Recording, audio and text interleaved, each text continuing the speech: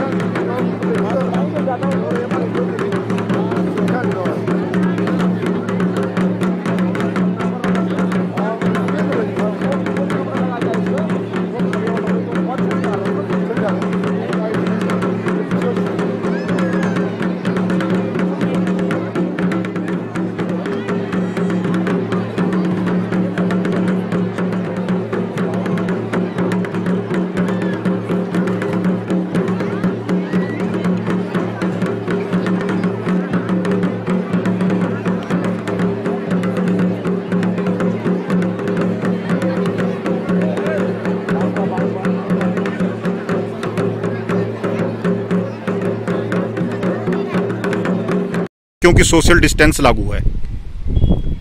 मुख्य रूप से जीवन रहेगा, उत्सव भी होंगे, जीवन रहेगा, मेले भी आयोजित होंगे। जीवन ही नहीं रहेगा तो किधर मेले आयोजित होंगे?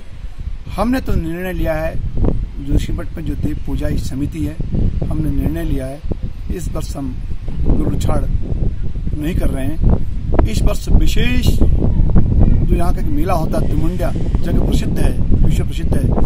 इसमें भारत ही नहीं, भारत देश के लोग भी बहुत होते हैं। हम इस वर्ष भगवान से निवेदन करते हैं, सब सुरक्षित रहेंगे। अगले वर्ष दुगने उत्साह, चौगने उत्साह से हम मनाएँगे। इस वर्ष हम इसे नहीं कर पा रहे हैं।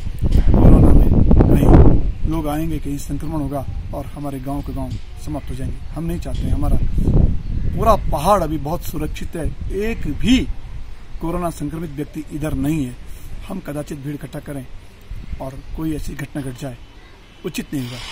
हम अग्रिम वर्षों में ये मेला दोने तीन चौगने उत्साह से करेंगे। कोरोना संक्रमण का असर इस बार धार्मिक परंपराओं और रीति रिवाज में भी देखने को मिल रहा है। वैदिक काल से चली आ रही परंपराएँ इस बार रुकती हुई सी नज़र आ रही है। बद्रीनाथ जी के कपाट खुलने से पहले जोशीमठ में होने वाला तिमुंडिया उत्सव और उसके बाद गरुड़ छाल मेला इस बार नहीं आयोजित किया जाएगा।